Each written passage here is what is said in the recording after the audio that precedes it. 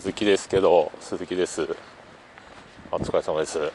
あの えっと先端の見積もり依頼ってあのあかりさん動いていただいてるとは思うんですけど。ああそれであの日程というかその辺もお願いしますね。はい。ちょっと早めに人たちなんかずらしてくるんで。はい。お願いします。はい。はい以上です。